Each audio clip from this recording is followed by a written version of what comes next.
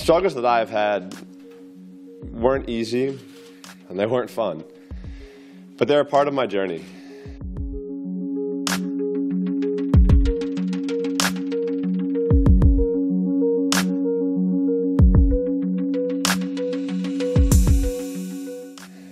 For the longest time, I was really good at compartmentalizing things and just pushing them deeper and deeper, so I never had to deal with them. That brought me to a point in my life where I found myself at an all-time low.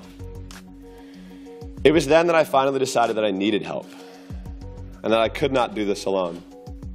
Life is tough, and it's tough for everyone. As I look back at my journey, I'm so thankful for the support that I've had. For me, I can't thank them enough for being there and being willing to take the time to help me.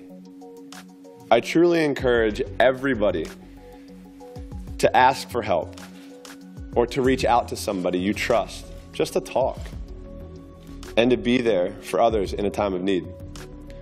Communication is so big, and it's sometimes that we make it a lot harder than it truly is.